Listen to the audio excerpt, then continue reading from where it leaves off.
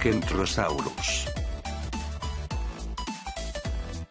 El kentrosaurio es una especie perteneciente a la familia de los estegosáuridos, su nombre significa reptil de punta aguda, esto por la forma de su cola, el kentrosaurio vivió hace aproximadamente 152 millones de años, en el período Jurásico, este ser impresionante media unos 4 metros de largo y pesaba hasta unos 320 kilogramos, de su espalda salían un par de placas óseas en forma lineal, este recorría toda la columna desde la cabeza y hasta la cola, donde poco a poco se iba afilando, y llegaban a medir unos 30 centímetros de longitud, este a diferencia del estegosaurio no tenía las espinas unidas a su columna, sino lo llevaba incrustado en la piel.